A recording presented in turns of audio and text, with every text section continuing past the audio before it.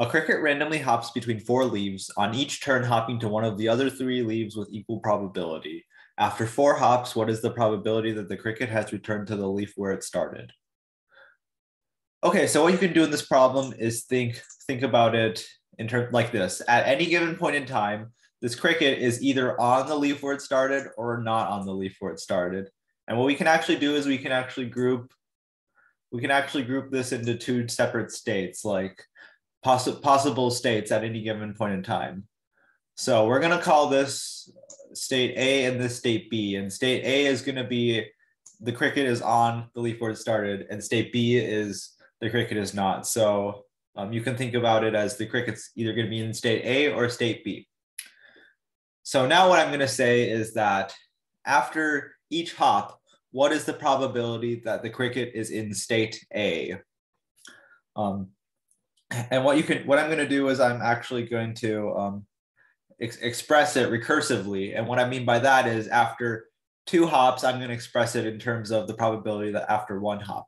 And after three hops i'm going to use those the numbers from um, the probability after two hops um, that the cricket is on state a to calculate the next one. And after three hops once i have the probability that the cricket's on state a i am going to use that number to calculate the probability that the cricket is on state A after four hops.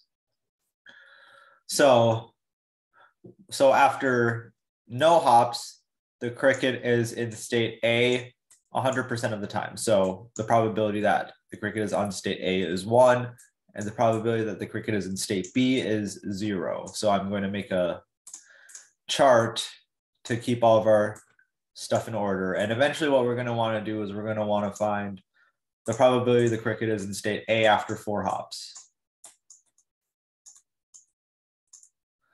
So now what are we going to do? After one hop, what's the probability that the cricket is on in state A? Well, if the cricket was at, in its initial leaf after zero hops, it's going to have to hop to a different leaf. So like the cricket might go there, or the cricket might go there. But the cricket will never be in state A because it moved away from its initial leaf. So the probability that the cricket is on state A is zero, and the probability that the cricket is in state B is one. So now we have that, and we can calculate the same thing for after two hops. What's the probability that the cricket has returned to its initial leaf? Well, after, well, the cricket had has to be in state B after one hop. And it, it really doesn't matter which leaf the cricket is in because um, it's it's the same thing regardless. So let's say the cricket ha has hopped to this leaf after one hop. Um, so I'll try to I'll try to draw my cricket a little bit um, like this. And so that's after one hop. And now what what, what does what what really does that mean? So um, it means that the cricket's going to need to leave this leaf after um, after um, he he's got there. So I, on the second hop, he's going to move to travel to one of the other three leaves with equal probability. So you see that the probability that he goes back to his own starting leaf is one over three. So the probability that he's in state A is one over three, and the probability that he's in state B is two over three. Now let's go one step further. Um, after three hops, what um, what's what's the cricket gonna look like? So this is where it gets a little more complicated because the cricket could either be on its starting leaf or not be on its starting leaf. And the important thing to realize is that hey, if I'm in state A after two hops, I will never be able to be in state A after three hops because I'm going to have to move away from my original leaf. So um, if um, the cricket was on its original leaf after two hops, there is no way that um, the, the cricket will ever be on its starting leaf after three hops. So um, in the in, in the one thirds of the time where the cricket does end up in state A after two hops, uh, well, the probability that contributes zero to this to the, the, the number over here, which is going to end up being the total sum of all of the probabilities that from for the set for the you know the the two cases where the crick after two hops the cricket is in either state A or B.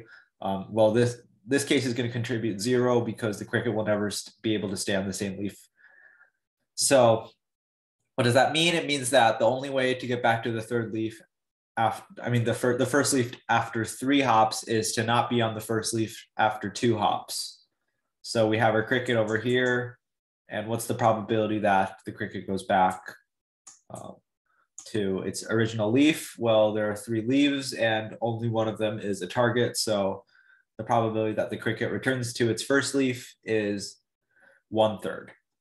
But you have to be careful because the cricket was only on a different leaf two thirds of the time. So you'd have to multiply by two thirds because the probabilities are independent. So overall, after three hops, the probability that the cricket is on its original leaf in state A is two over nine. So by extension, um, seven over nine is the probability that the cricket is not on its starting leaf. And finally, after four hops, what is the probability that the cricket is on its own starting leaf? Well, what, what you what you what you need to realize is again, if the cricket was on its starting leaf after three hops, which happened to with probability two over nine, the cricket would have to leave that leaf on his fourth hop, which means that he would never be able to um, stay on his leaf where he started after four hops. So um, in those two ninths of the time, the cricket will never be able to make it back. So this contributes zero to the total probability. And if the cricket was on a different leaf, which happened with probability seven over nine, there's a one thirds chance that the cricket would go back to its original starting leaf. So um, probability that the cricket goes back is one third. Um, and the probability that he was even on a different leaf in the first place was seven over nine. So um, the probability that he got back to his leaf was seven over 27. And that's exactly what we want. The probability that he is on his leaf where he started is 7 over 27, which is answer choice E. So we are done. Thanks for watching, and I will see you next time.